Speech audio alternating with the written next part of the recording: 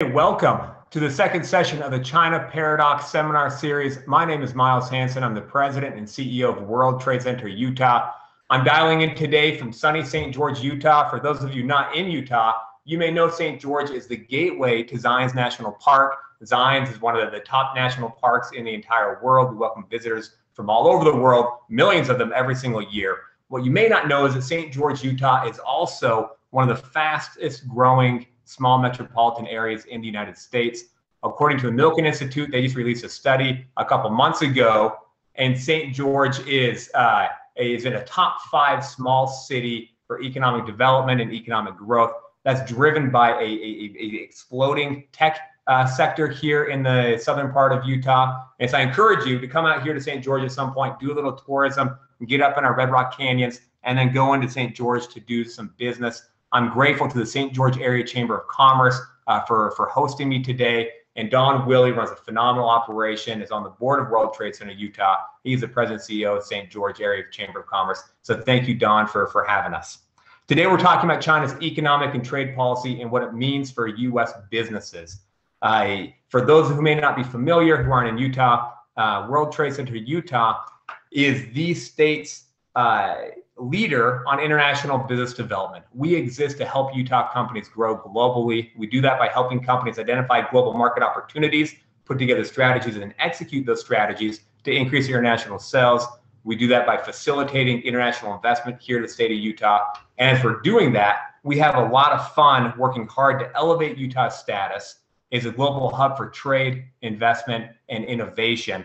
And so please reach out if you're a Utah company and let us know how we can help you grow. And if you're not in Utah, please reach out so we can connect you to Utah companies that will be great partners to you so you can participate in the really incredible things happening uh, to Utah's economic economy.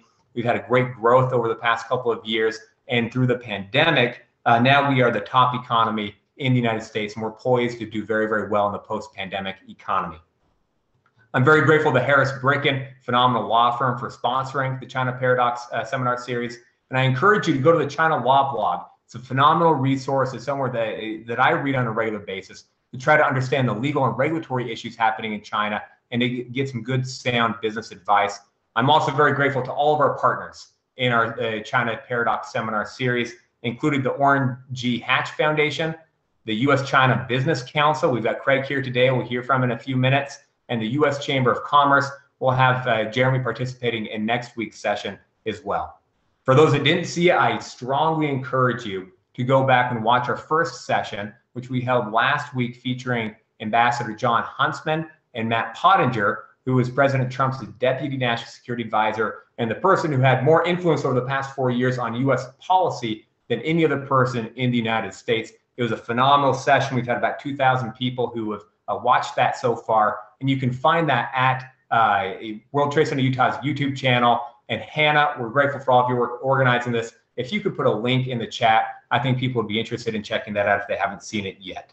So we've got an incredible conversation. I'm excited to dive in. But before we do that, we're joined here on screen uh, by a good friend and the vice chair of World Trade Center Utah, uh, Mr. Lew Cramer. Lew is the former director general of the Foreign uh, Commercial Service at the Commerce Department and is Mr. International. He's got friends all around the world. We were in Saudi Arabia a couple years ago. We walked into a small group meeting, seven or eight people, and kid you not, Lew knew at least 25% of them, either first degree or second degree. So, Lew, thank you for joining us. I'd like to go ahead and, and pass the baton over to you for some welcoming remarks as we kick this thing off. Thank you, Miles. What a delight to be with you all and to, to see so many good friends. Uh, we are thankful, as, as noted, to our partners and our sponsors, participants, and particularly these wonderful panelists. I ask Miles for the opportunity to say hello to my dear friend, uh, Mr. Ambassador Craig Allen. Uh, I was just computing that uh, I've known Craig for over 36 years when he was a incredibly bright, talented young presidential management intern. Uh, we worked together at the Commerce Department. I said, I'm buying stock in this man now. And uh, 36 years later, that's been the best investment the United States has made. So, greetings. I, I, know Matt and Gary are great as well. I, I, know your backgrounds, but I do know Craig from all these years, uh, many decades, and we're so so pleased that you're willing to spend time with us here in Utah. It's a booming economy. We call China not the Far East, but the Near West here in uh, in the uh, Utah. and with your backgrounds of each of you, but particularly my dear friend Craig. Welcome so much, and we very much appreciate you spending time with us. And uh, I've seen already on the chat some old friends checking in as well, Craig. So you attract the best kind of crowd. So thank you to all, and welcome to Utah. thank you, Lew, very much for that. So now it's my honor to go ahead and introduce today's panelists. And I just want to make sure that everybody recognizes the incredible talent and expertise that we have on the panel today. And so I'm going to take just a minute and, and go a little bit more in depth than I normally would about each of their backgrounds because it really is incredible. And the breadth of experience and the perspective that we're going to get today is phenomenal. So, first off, we have Ambassador Craig Allen, who's the president of the U.S. China Business Council.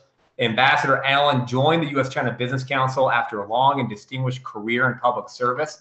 Immediately prior to joining the U.S. China Business Council, he served as the U.S. ambassador ambassador to Brunei, a post he held for nearly four years. And ambassador, that's a long time to be an ambassador in any country, but I'm sure you were busy. Um, but thank you for your service there. Prior to serving as ambassador to Brunei, he served as the Commerce Department's top official over China as well as uh, across all of Asia. And he also served as a top trade official at the U.S. Embassy in Beijing. Throughout his career, he served in many assignments throughout Asia. And I saw in your, uh, your bio, Craig, uh, one stop in South Africa, I think. And so it's nice to know you got out of Asia for at least a little while and had some time down south in, in Africa. The second panel, so go ahead and introduce is Gary Rieschel. Gary is the founding managing partner of Qiming Venture Partners, a firm he launched in 2006 in Shanghai that now has over 5 billion with a B in assets under management with a, a very incredible focus on tech and healthcare innovation. Prior to founding uh, Gary was a senior executive at Intel, at Sequent Computer, Cisco, and SoftBank, and he, uh, including serving on SoftBank's board of directors. Gary is also a member of the China Strategy, Strategy Group and co-authored a report with former Google CEO Eric Schmidt called Asymmetric Competition, a strategy for China and technology. And Gary, I want to dig into that report a little bit today. I was reviewing it over the past week and again last night. Phenomenal thought leadership there and, and very important topics that you've identified. And I look forward to getting your perspective on that later in the conversation. Finally, we've got Matt Turpin, who is a good friend of mine and a former colleague from the National Security Council. Matt is a visiting fellow at the Hoover Institution and he's the former National Security Council Director of China Affairs. Matt is also a senior advisor at Palantir Technologies. Prior to serving in the White House, Matt served for 22 years in the U.S. Army in a variety of combat units in the United States, Europe, and across the Middle East. Matt's taught at West Point and he served as a senior China advisor to the Joint Chiefs. So, thank you to each of you for being with us today you know, I spent a lot of time working uh, around the military and with people in the military. And in the military, uh, there's a concept of the bluff, B L U F, bottom line up front. Uh, we kicked off last week's session with, with this question. I'd like to go ahead and do it today. Um, I want to get each of your bluffs. What are the top two or three takeaways that you think a company should walk away from today's conversation with that's going to help them figure out what to do amidst these, these changing dynamics uh, with China. And so, Gary, I'll go ahead and start with you if that's okay. Uh, what's your bluff for the businesses tuning in today? So, I think the given all the noise between on U.S.-China relations, most of it quite negative, um, some of it with good reason, by the way, on the U.S. side. Um, I would say the two thing the two two things I would take away is number one, you have to stay engaged. So if you're a business person today and you're trying to do business in China or you're looking at business in China, this is not the time to pull back. I don't mean hire more people in China. I don't become more dependent upon China. I mean to be engaged. And what that means, two, two good examples. At the macro level, look at simply what's happened with trade. So if you look at global exports and imports back in 2000, they were roughly each around $6 trillion. The US the U.S. was three times the export amount of exports that China had, and the U.S. was importing 1.3 trillion a year. China was was importing 0.23 trillion dollars a year. 2020, it was 18 trillion dollars of global trade. The U.S. was 1.4 trillion of exports. China was 2.6. So China went up over 10 times during that 20-year period. The U.S. increased by about 2x. On the import side, China went from 0.23 to 2.1 trillion. But the US component of that 2.1 trillion is only 135 billion dollars. So when I look at what you know, there is still a huge opportunity to participate in the growth of China, and because again, when you look forward to 2050, you look at WTO Goldman numbers, 60 bill, 60 trillion dollars will be the global trade amount. China's export share of that will be 12 out of 60. They'll have be roughly 20% of global exports. They'll be 10 of 60 or 17% of global imports. The US will be dramatically smaller just as the economies you know, mutually scale up. And so that's not an opportunity if you're a business person that you want to set aside. Now, how you go about doing that has changed dramatically from what it was 20 years ago. The relationship is more complex with China. Um, I think the regulatory environment in both countries both governments are setting up different kind of regulatory regimes that you would have had to before. Um, the Biden administration, I think appropriately, has taken a very strategic look at supply chains. You have executive orders coming out about supply chains. You're going to have six um, sectors that are going to go through thorough review over the next after over the next uh, few months. You have to be part of that process. So identify the opportunity, but you have to be part of the process in terms of what is the appropriate regulatory regime for your business, your company, um, you know, in you know vis-a-vis China. Um, I also think that just strategically, being part of that process will also let you know how serious different forms of that regulatory regime will be, either from the Chinese side or the U.S. side. We're not going to change China, except, and and that's the that's kind of the common theme. I would just highlight one thing from my world, the venture capital world, in the last 20 years. Basically, up until 2018, almost 75% of the risk capital available in China came from overseas. So we had a profound impact in terms of how China's innovation economy evolved. We may not like some of the directions it took, and I think that that's a that's a, a good, healthy discussion. But it's a terrible mistake to assume that by engaging and being participant in trade and business, that you don't have a, an impact, sometimes quite a material impact of the behavior of the country you're doing business with. So I'll stop there. That's great. Gary, thank you very much for that. Lots of good stuff. I'm, I'm looking forward to diving a bit deeper here in a couple minutes. Matt, let's go to go ahead and, and go to you. What's your bluff for the companies tuning in today?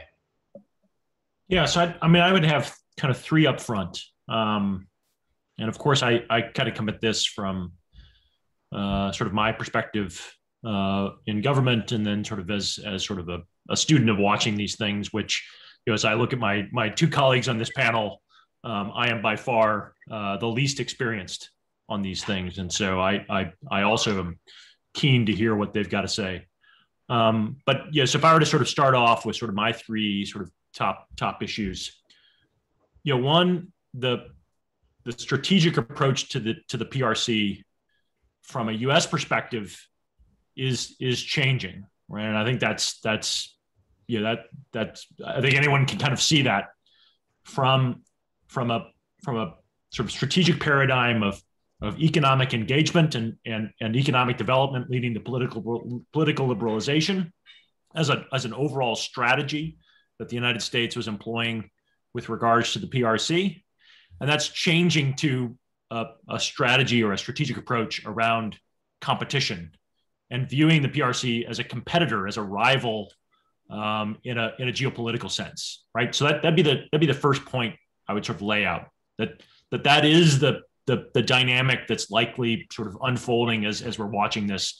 And it's going through a period of sort of paradigm change, right? And I, I believe that this paradigm began to shift around 2014, 2015, and, and we're seeing this, this happen.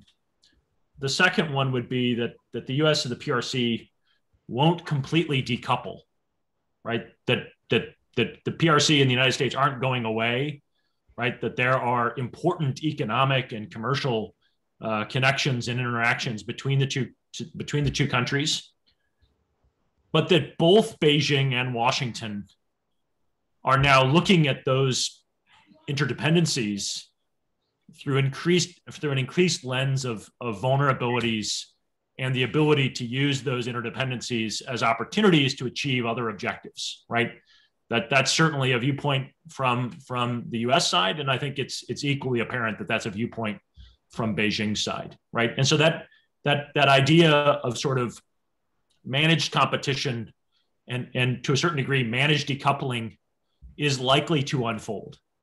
And so that brings me to my third point. You know, what do business leaders need to take away from this? Um, so, so the future is probably unlikely to look like the past, right? That that the the experience from you know the early 1990s to sort of where we were about five years ago reflected sort of a, a broad strategic approach by the United States to really favor economic engagement to drive those kinds of political liberalizations that, that the United States wanted to see. And you know, and proof of that is that you know that this was a, a, a, deeply bipartisan sort of position. You know, it's it's areas that that President Clinton agreed on. It's it's areas that President you know George W. Bush agreed on. It's it's, it's areas that that were largely a part of the the, the the conversation. Right, that that was the approach. Given that those things are changing, right, that we are moving to an approach of, of strategic competition, many of the assumptions that business leaders made during that period of time, right, and the business models they created may not be fit to purpose in the, the future of the relationship, right? That doesn't mean that they all end. That doesn't mean that that that they go away. It simply means that they're quite different, and that and you know to sort of build on Gary's point, you know now is a time to pay attention now is the time to go back and look at, at, at basic assumptions. Uh, and now is the time to look you know, you know, critically about what the business model is and does this work given the changes that are going on. And that means participating and paying attention. Um, you know, and, and to give you a, a plug, Miles, tuning into things like this, right? You know, seeing where things are going uh, so that you can kind of know what's going on. Now is not the time to sort of be asleep, you know, at the wheel and let things unfold, you know, as they might. That's great. Thank you, Matt. Ambassador Allen, over to you. What's your well, firstly, tuning in? Firstly, let me say that I love uh, the title of this series, uh, The China Paradox. As Orville Schell uh, uh has said, anyone who studies China must enjoy a good paradox. And uh, I think that that is uh, very true. Let me thank you, Miles, and acknowledge my old friend Lew Cramer and a few other old friends on, the line here. Um, as Tip O'Neill used to say, all politics is local. So let me say a, a couple of things about Utah. Uh, Utah, uh, last year, China was your sixth largest export market, and uh, you exported $574 million worth of goods to China but that's down uh, from 1.4 uh, uh, billion in uh, 2013. So Utah exports to China have declined by about uh, two thirds uh, over the last seven years. And that has had economic consequences. Over the last year, we estimate about a thousand jobs lost in Utah as a result. Now, maybe those people have moved on to do other work and maybe it's not a problem, but certainly over the last seven or eight years, you've lost uh, several thousand jobs. And uh, I think that uh, that's probably important um, uh, to uh, note. Um, the second thing um, is that your service uh, economy, travel and tourism for China is holding up very well. so while goods exports have declined, service exports have increased. clearly, Utah is a very attractive destination uh, for uh, Chinese um, uh, students, travelers, and probably investors as well. Um, the third point I would like to make is, is that um, and I think that Gary is probably the world's leading um, practitioner here. But China is going to provide 30% of the, uh, global economic growth uh, over the next 10 years. And so therefore conversations like this are really useful. Uh, i think matt put it very well to determine an appropriate strategy in a rapidly changing landscape. Uh, absolutely true. Um, uh, but china is going to be a major part uh, and indeed a more important part of the global economy and so i think it's very worthwhile uh, to sit down and look at uh, how utah companies uh, workers, farmers, and ranchers uh, can make uh, best use of uh, China's economic growth. Uh, how can we grow uh, employment in Utah based on China's growth? And if the U.S. China Business Council could uh, lend a hand there, nothing would give me greater pleasure. Thank you. That's great. Thank you, Ambassador Allen, for that. And you're exactly right. China continues to be an important market for Utah. I, a couple of things could be driving some of those, those declines. One, um, uh, increasing trade with Hong Kong, and Hong Kong is a gateway into China. But the tourism is an important part of our relationship with China. As I'm sitting here, I'm looking out the window in front of me, and I can see the, the Red Rock out there. And, it, it, when we're not in a pandemic, you know, there are uh, tens of thousands of Chinese tourists, if not more, coming to Utah every year. And it is an important part of our economy. So if we look at this, it's interesting that, that each of you touched on the fact that there are these seismic shifts happening in the relationship. Um, in, in, in, Ambassador Allen, maybe I'll, I'll, go back to it to you because you've been in the trenches in this U.S.-China economic relationship for a long time. Could you talk for a minute about what the objectives were in, in kind of your perspective on the U.S.-China relationship for the first, we call it 35, 40 years, and then what were the what were the U.S. goals then, and then what's been different over the past four or five years? Why do we start to see the significant change happening and this reassessment that people are doing uh, across the country and, and around the world to try to figure out what's happening, why, and what do they do about it? So it's a big question. Um, but what I would say from the business perspective is that uh, actually not that much has changed, uh, really. Uh, business people want to sell stuff. Uh, uh, and China uh, has 20% of the world's population, 30% of the world's growth. And so business people want to take advantage of that. Now, what has changed is that uh, China's gone from uh, $192 per capita per year uh, to about $14,000 per capita per year. So there's been phenomenal uh, growth uh, there. Um, when the US and China started out this relationship some 50 years ago, we were st strategic allies against the Soviet Union. Uh, now, uh, China is a competitor. Uh, I would fully agree with Matt's uh, uh, interpretation there. Um, and uh, China is particularly a competitor in tech. Uh, and, uh, and, and that's true across the board in tech, uh, be it life sciences, as, as Gary knows very well, or telecom or aerospace or nano or quantum AI. Um, and, and so we need to work on the rules of the road uh, uh, for technology competition, technology cooperation. And the more difficult question is how do you enforce those rules? And, and right now, um, uh, we're, we're working on that and we don't have an answer. Thank you. Yeah, that's great. Thank you very much for that, Ambassador Allen. You know, Matt, you've spent the past uh, few years uh, in the trenches as well, and, and, you've seen some of these, these, these challenges that are becoming really, really persistent and important and systemic. And, and, it does seem like there are some significant changes happening in the relationship. I remember when I first came to Utah, left the White House and came to Utah. I guess two and a half years and now. That was in the middle of the the trade dispute or the trade war, right? And there were a lot of companies that I interacted with that felt like, okay, we've got uh, it's you know the United States is getting much more aggressive on trade policy. You've got this trade dispute, this trade war. If we can just get a trade deal, things will go back to the way they were before. And what I think we're experiencing is that's simply not true. That there have been these these seismic changes. There's no going back to the way it was before. Could you share your perspective, Matt, on on why that is, and then perhaps you know what that means for companies, as, as you put it in your opening remarks, Matt, that need to take a, a reassess what their strategies are in China moving forward.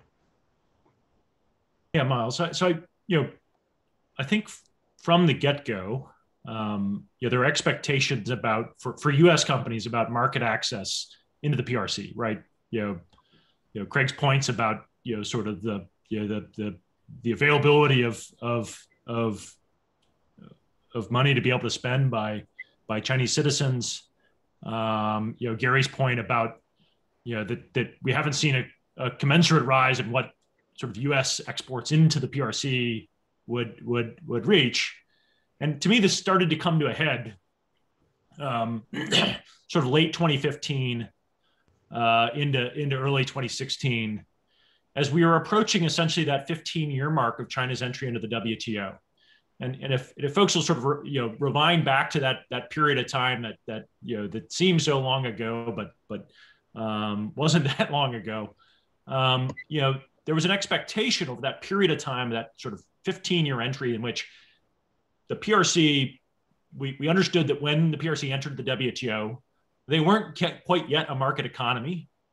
And therefore, we had made a, a series of sort of exceptions about China's entry, but but but largely we and and and and our friends in Europe and, and our friends in Japan and and, and other places around the world, uh, you know, sort of set those rules aside and said, you know, it actually is in our interest to bring and socialize the PRC into this system.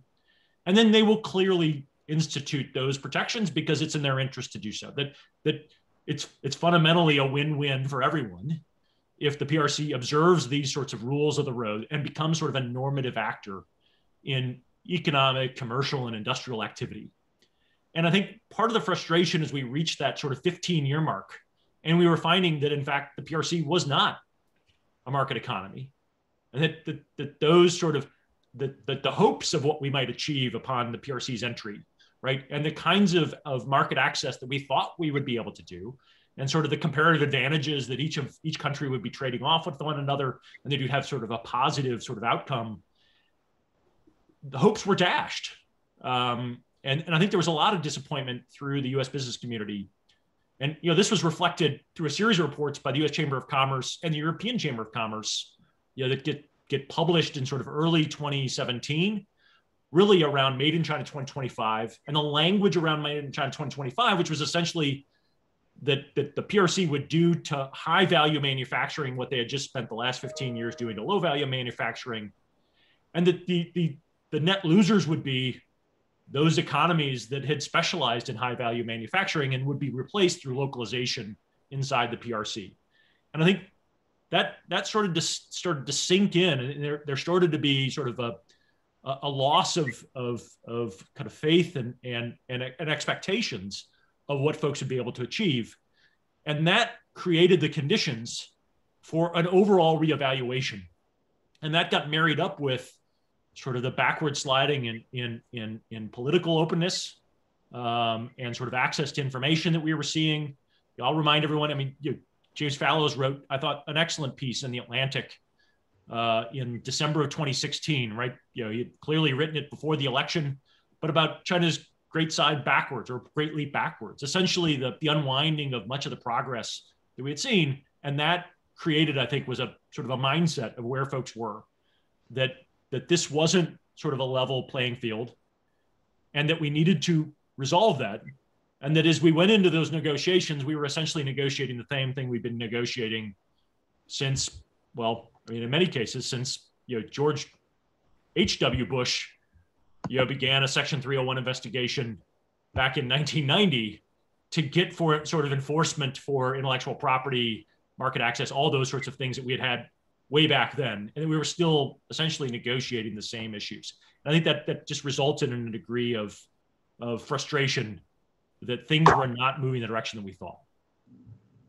Great, thank you, Matt. And it, it's interesting uh, as you referenced uh, James' article from December 2016. I literally have that up on my screen, one tap over from this call. So I've posted a link in the chat function. But I think it's, it's I, I love that article, and, I, I read it for the first time about a week and a half ago because it provides a snapshot, this moment in time prior to the Trump administration. And President Trump, love him or hate him, you know, he's got a unique way of engaging uh, on policy issues. And I think that there was this misperception among many that the, the, the contention and these changes were a result of the Trump administration and President Trump's priorities and style. But James's article in December of 2016 provides this window into the nature of the relationship and to show that these shifts had occurred prior to President Trump coming into office. And President Trump then was was responding. And, and my guess is that while the style is unquestionably unique and different, the substance of the policy would have been very similar no matter who won the election in 2016, just like we're seeing is very similar uh, no matter who won uh, in the most recent presidential election. So I'd encourage people to, to check that out. Okay, Gary, you have, have found tremendous commercial success investing in China, pooling capital, helping China's technology, tech ecosystem grow and succeed. I'd be curious for your take. Is you look at from when you launched I, um, the fund in 2006 until now, what changes do you perceive that have occurred in China? And then what do you think that means for, for US businesses? I think the the big changes, and we got to we were able to see it because we invest so early in underlying technologies. So for a long time, as as Matt and Ambassador Allen know well, 2005, 2014, the conventional wisdom was China can't innovate. That all it's doing is copying what's happened in the United States. And you know, in fact, President Biden said, "Well, there's nothing innovative coming out of China." And fortunately, I think we caught that misconception and start to start to address it before it became fatal. Um, when you look at just some statistics back in 2005, there was exactly one new novel compound developed by a Chinese company in the pharmaceutical industry. Last year, there were about 380. And so, what you start to look at is yes, there was some great misappropriation of intellectual property. There was some great, it's just some terrible behavior in, in the corporate world. But at the same time, the underlying energy in China came from the private sector, not the state sector. The vast majority of new hires, over 100% of new employment in the last 20 years, has come from private companies. Uh, the vast majority of profit growth has come from private companies. They're now significantly close to 70% of the overall economy is in private companies. These are fundamental changes that were missed by a lot of folks that were simply doing biz- the normal course of business. So now, given that, you have to take a step back and say, as as both uh, you know Matt and, and Ambassador Allen have said, the environment has changed, the context has changed. So what's the competitive environment now? It's no longer spending all of your time trying to find the closest relative to someone in the Ministry of Finance. That's really not the winning strategy right now for China. The winning strategy is who are the people in the working groups on the regulatory environment that are doing the same job that their counterparts in the US are doing, trying to get ahead of where technology is taking them. Governments, uh, our own may being a, maybe being a bad example, maybe being a, the worst example, really have not been leading indicators on technology. We've really been trailing indicators, and a great deal of the policy has been trying to catch up with what's already happened in the marketplace. And I think that you should, you, the reason you need to be engaged in China on the ground and be very actively engaged with your business partners, distributors, whoever your your uh, the other components of your supply chain are in China, is you're going to learn the cutting edge of what's happening there from them before you're going to hear it from Beijing. And I always view the Chinese government; they get great credit for, well, they have this policy and that policy. It's a trailing indicator. Please don't. I mean, Made in China 2025. What it does is it sets bumpers so that the private enterprise is they know what not to do, but they don't tell them what to do. And what we as what we as foreigners doing business in China need to understand is those are guideposts. You probably shouldn't violate the guideposts because then you're really then you're assuming you know something that the Chinese government does doesn't know, and that's always dangerous, for, especially for within China. But at the same time, don't don't don't wait for them to tell you what to do. And I think the most successful private companies in China have been very innovative and have really jumped ahead of what the government thought they could do. The government ultimately will now, but as it is in the US in terms of some of the law, some of the regulatory uh, oversight coming into tech, it's coming in China, it's coming in the US. But again, these are trailing indicators based upon how powerful those companies became. They didn't become powerful because the Chinese government told Alibaba, go do finance or they didn't tell Tencent, go do WeChat.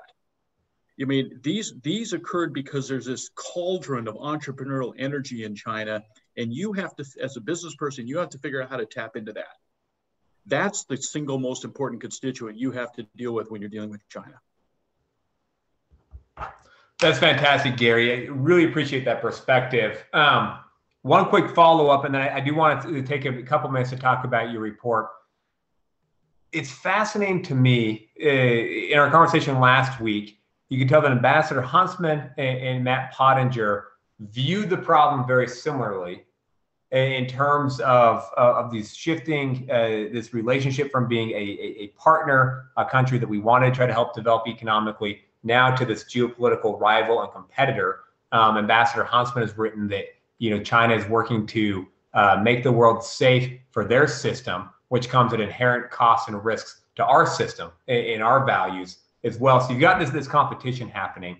Ambassador Huntsman uh, talked a lot about the confidence we should have in our system, where we do have free and open markets, where we are, you know, our success as a country for for centuries has been this innovative entrepreneurial spirit that is manifest uh, that is made possible through this free and open system that we have.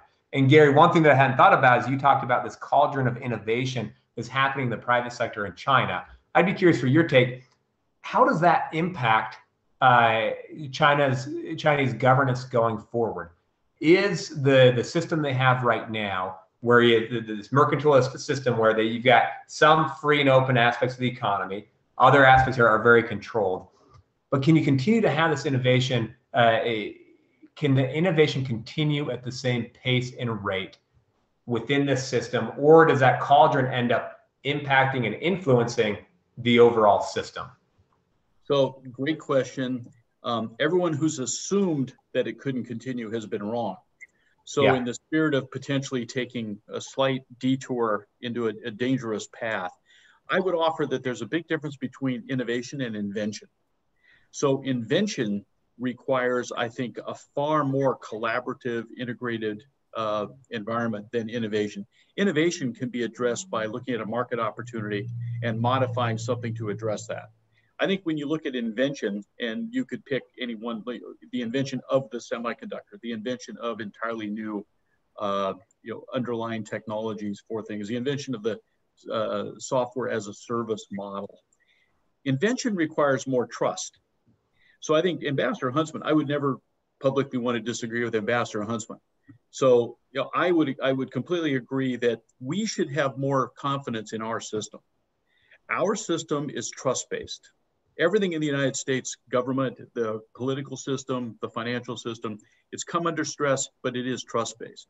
China is a low trust environment.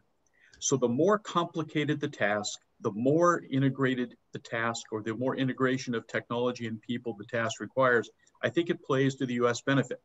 Multilateral relations play to the US's benefit. We should quit, we should quit hiding from our own strengths.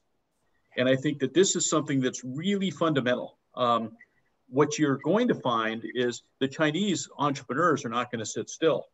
So again, you have to operate at the speed that the Chinese entrepreneurs operate at. And I used to laugh when I was in Silicon Valley. You'd go to China, and everyone in Silicon Valley thought how fast paced it was. Compared to Shanghai in 2006, it was sleepy. And I think just fundamentally, there was just an energy and an enthusiasm. That's not going to go away. So the goal is how do you tap into that? Because you want you want some of that juice. And that juice can help you not only in China, but can help you in a lot of other aspects of your global business. Yep, that's fantastic. Thank you for that, Gary. Ambassador Allen, you got such long perspective and experience working in China. What's your take uh, on that question? As you see that this cauldron of innovation that's happening, how does that influence China over the next 5, 10, 15, 20 years? Um, and, and, what does that mean for, for the US economy and our trade policy and our economic engagement? So, um, thank you very much. We have underestimated the Chinese for um, 40 years. And I think it's a good time to stop doing making that mistake. Uh, the Chinese uh, graduate annually about 1.8 million STEM workers compared to 650,000 in the United States. The Chinese have about 25% of the world's total uh, STEM workforce. Uh, and therefore, uh, they are uh, likely going to be very, very innovative in the future. Um, as uh, Gary highlighted, uh, most of this, all of it, uh, is coming out of the private sector uh, in China. Uh, the government is adding uh, um, gasoline to that fire, um, definitely, and in many ways that are violate the WTO. I have argued China's top leadership that uh, the Made in China 2025 program violates every chapter of the WTO. Uh, and uh, I don't think we should expect that to change. Um, the names might change, but the approach uh, probably will not. But uh, that innovation, uh, in my view, is going to continue to strengthen. Um, it is not going to lose steam. Uh, and uh, it is going to create new paradigms uh, against where we're going to have to compete. The age of catch up is over. the age of innovation is here and Silicon Valley, Shenzhen, Hangzhou, uh, Beijing are all going to be contributing to that. How we contribute it and the nexus between the two countries, that is very, very much up for debate. And, and I think that it requires very careful thought. Thank you. Yep, that's great. Thank you, Ambassador Allen. And Matt, eh, curious for your take. So last week, Matt Pottinger said the reason why China wants this strategy of making the world dependent on China and a China not dependent on the world is in order to have coercive leverage in the form of economic leverage to pursue political aims around the world. And so I'd be curious, given this, the, the fact that, that we're not in the, the realm of catch up anymore, but now we're in a we're in a foot race in, a lot of different ways. Leverage is very important. Uh, China has demonstrated that it's willing to use its leverage and its coercive abilities through this economic e- relationship um, to pursue its political objectives around the world. Australia right now is a prime example. If you're a wine seller in Australia, uh, you're going through a really, really, really tough time as you've become collateral damage in this geopolitical spat, right?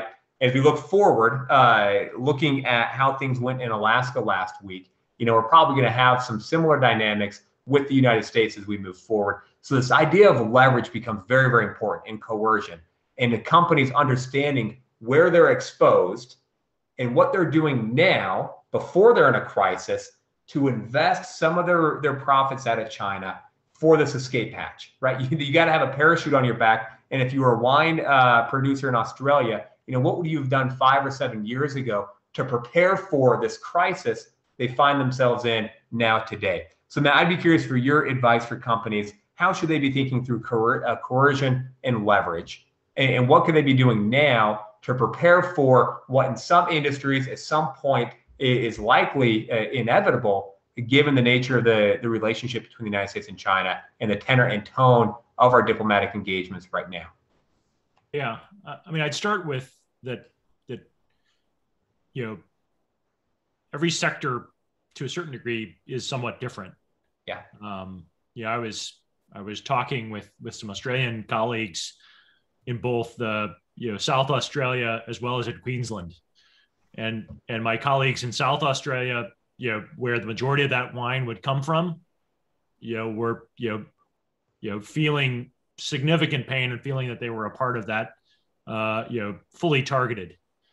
Yet the Queensland colleagues that sell seafood, you know, we're seeing a massive uptick in seafood being bought from by the PRC, you know, in in them. So so I think it's it's important to keep in mind that that you know, how this unfolds, you know, is actually highly dependent upon the sector, right?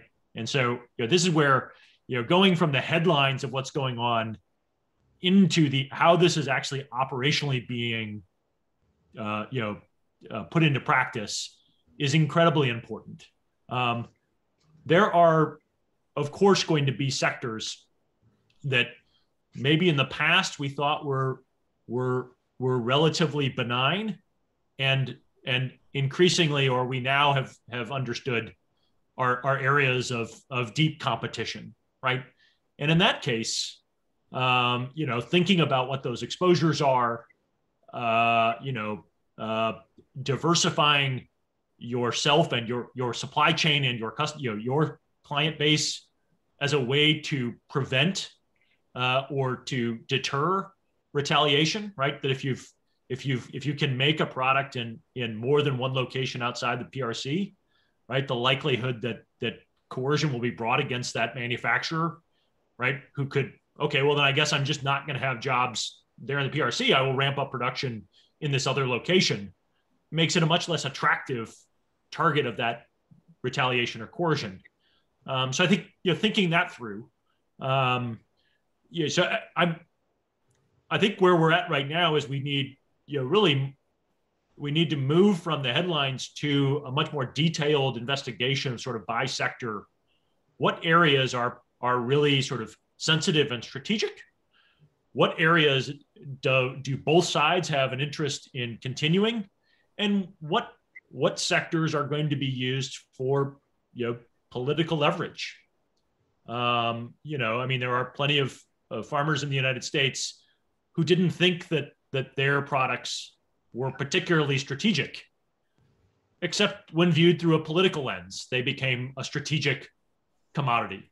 And I think we we all have to be sort of sophisticated about that. We now have to sort of realize that that those things are in play, and those things will be in play into the future. Um, and and it it it it begs for, you know, I think a theme that's that's come along here. You know, we can certainly hope that our government will will persuade the PRC to change its behavior. The track record of that is not all that good. Or we could focus on changing our own behavior for the conditions that we're in.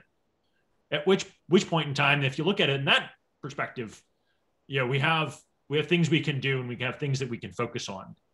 Um, and then and then you know a rivalry and a competition plays out based upon sort of who can perform better um, and in many cases, that will be mutually beneficial to both sides as as they sort of compete with one another to get better. And we test for the world how these systems stand up to these things. I'm I'm personally quite confident in the system we have if we uh, you know openly sort of understand that we're in a competition and don't believe that it's it doesn't exist.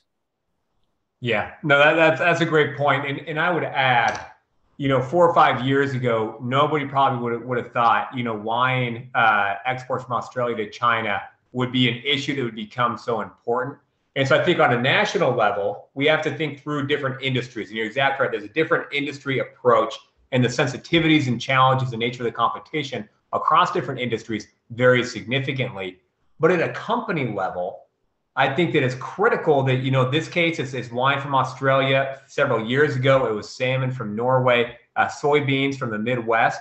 Right. So at a company level, you don't know for sure, no matter what you're producing or selling into China, what could come in the future. Dan Harris is a good friend. He's a partner at Harris Bricken, a contributor to the China Law Blog. And I wrote a post from Dan, it's probably been nine months ago or so, where he talked about escape routes. And he talked about experiences that he'd had back in the wild days of Vladivostok in, in Siberia, uh, working there shortly after after the fall of the Soviet Union, and how they had to always plan what the escape would be if they ran into trouble. And he tells a great story about when that happened. And then he likens that to companies, where if for any company in any any industry, if China is a significant market for you on the sell side or on the supply chain and the sourcing side, you need to think through your escape route. And if something happened to your industry that wasn't driven by business, but it was driven by geopolitics.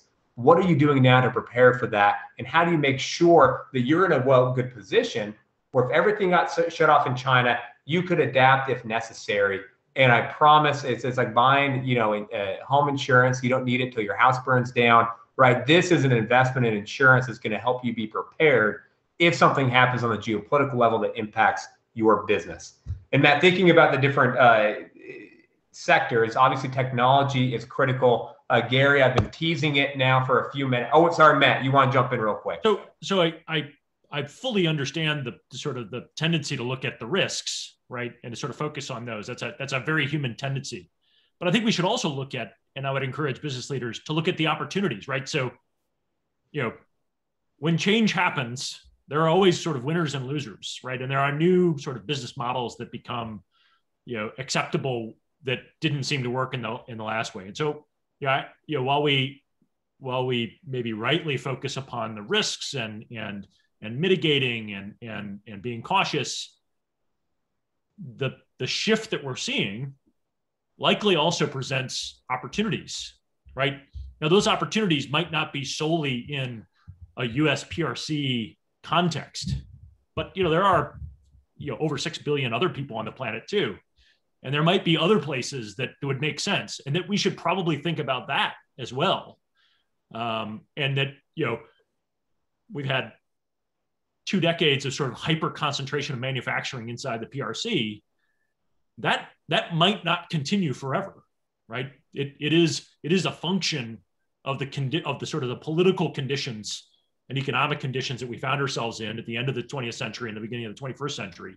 There's no guarantee that that those conditions then remain the same, and that there might not be other opportunities in other places where we probably need to spend more time and energy. Yep, no, that's that's a great comment. Thank you, Matt. Okay, Gary, let's talk a little bit about this report. I'm uh, trying to post a link to it here in in a chat. There we go. Phenomenal job. Uh, the thought leadership that went into this thing is fantastic. Again, the report is called Asymmetric Competition: A Strategy for China and Technology. And I think this is required reading for anybody that's involved with technology or anybody that, that's looking at this from a macro perspective in terms of how uh, our economies engage. You know, when I first read the title asymmetric, you know, that brought me back to my days working in the Middle East as we thought about warfare in the Middle East. And so I, I, I was interested to find out why uh, it was deemed asymmetric competition. Uh, as I reviewed it, it, it, seems to be that China plays by a different set of rules, um, and they've benefited from corporate espionage, illiberal surveillance, and this blurry line between uh, public and private sector. And so that's why it's a, a term asymmetric, is that China's operating from this different set of rules that are distinct and different from, and in some ways uh, undermine the set of rules that have, have worked so well for us here in the United States. In the report, it talks about how we're trending towards a bifurcation of tech spheres. And it also says that that, that may be preferable. And Matt, maybe this is what you're talking about in terms of opportunity, but maybe if this is the trend we're going in, maybe there's some preferences or some opportunity there. So Gary, I'd be curious to your take is, is somebody who, who worked with many others on the report. And as somebody, I, have I've co-authored a report with large groups before. And so I know that things make it in the final version that I don't necessarily agree with. And so uh, not sure if, if that may be the case here with you, but what are some of your takeaways from that effort, uh, from your deep dive into how U.S. technology should move forward in, in our engagement with China in, in the years to come? Well, a lot of the, um, the, the, the best thing about the team, there were 13, 13, 14 of us, and we worked for 12 weeks. No one ever missed a meeting. So that was a commitment. That was a, a sign of the commitment of the of the group to the uh, to the energy. And I think four are now in the administration. So they did have people in there that were that were kind of interesting in terms of where they wound up with uh, in the Biden administration. Setting that aside, to me, the real takeaway, as you were talking about the asymmetric side, there was another big piece of it, which is the idea of what does capitalism look like in China, or what is the what's it, it's a market economy, but it's a more heavily managed market economy. And what we tried to get down to was why would Chinese firms have an advantage? And it's not because the government tells them what to do, it's because the government gives them time. And so the market restrictions on foreign technologies in China, the market restriction, you know, the, the way that they play favorites, the way that they provide access to domestic, some domestic uh, technology over foreign technology, all that does is it gives the entrepreneurs time. And the entrepreneurs, given the speed that they're cycling on various innovations, they catch up pretty quick. You know, that was the point that Ambassador Allen was making earlier. You know, they're going to catch up catch up pretty quick. They just need a little bit of a leg up. So when you're competing with that, the US government is not going to do that. The US government is not, we're not going to be into a situation where we're going to start picking winners in technology. But we have to get we have to get to the point where our infrastructure and our ecosystem can operate at the same speed. Now, that's you you run into another issue which Matt was alluding to, which is another big part of the takeaway for me with working with this group is the best way for the US to compete is to make the rest of the world better. So there's 1.4 billion people in China. There's 350 million, 340 million in the United States. There's another five and a half, six billion out there. If we reduce the gap, so China's reducing the gap with the US, if you will. If we reduce the gap between China and everyone else, we win. Because fundamentally, it's our ability to help the rest of the world catch up that I think is fundamental to our values. I think it's fundamental to how other countries would like to see the United States lead in various areas. So, one of the big takeaways was again, look at yourself and figure out the race you're in, figure out what's the competition going to be like. What do you have to do to get in shape for that? And so, they those were some of my kind of under the line takeaways that may not have been you know specifically you know published in the report. But I do think the I do think that the idea that we need to pick areas of technology where the platforms are so important we can't afford to fail. We can't afford to be behind. Maybe it's parity in some cases, it's leadership in others. You can look at gene therapy, you could look at the rules of the road for AI. So you're gonna you're gonna have to establish some areas where you say we just simply can't afford to get behind in this area. And so one of the next follow-on follow-on uh, pieces of that report is really defining those areas and going much deeper in in uh, some of those categories. Yeah, that's fantastic. Thank you, Gary. Ambassador Allen, I know that we uh, you've got to run here real quick. We're out of time. This hour has gone by so fast. I could do this all day long. So, Ambassador Allen, why don't you go ahead and, and, and give us the last word on today's session? Well, I think that Matt uh, and Gary uh, have uh, brought out some very important truths. And the, the, the way that I would like to frame that is that we mustn't be obsessed on the bilateral. Rather, we could address the bilateral through the multilateral and the regional. Um, and uh, working on that overall context, making this uh, Asia in particular from a bilateral problem to a multilateral issue where the US has strong relationships with all the other major players in the region uh, is an appropriate uh, uh, way to go forward. Uh, and it will help to constrain uh, Chinese behavior uh, when, when Chinese behavior needs to be constrained. So I think that those are powerful truths that we could work on. Thank you. Yeah. Thank you, Ambassador Allen. And, and thank you for everybody for participating with us today. And a huge thank to our panelists. If we were here all here in person, we'd be like applauding you and, and telling you how great you are. Uh, but this has been a phenomenal conversation. You know, just as we wrap this up, Ambassador Allen, thank you for that that final point. You know, in my mind, on terms of hard power, right? China is going to surpass the United States economically in terms of military might in the coming years and decades. That's going to happen.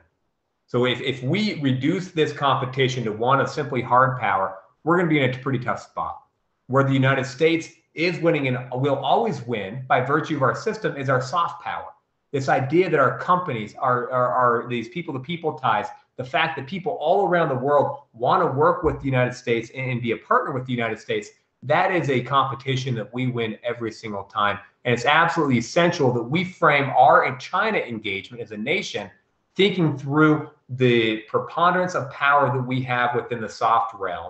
And we're still pretty good on the hard power stuff too. And if we work with our partners and allies, that's how we keep the world safe for our system and this free and open uh, system of our economy and, in, in, uh, political system that has done so much good for people all around the world and brought the world uh, from extreme poverty into a place where far more people are prosperous today, thanks to the leadership in this rules based international system that the United States helped form and has led for the past 75 or 80 years. And so that's absolutely essential for us to think through as a nation.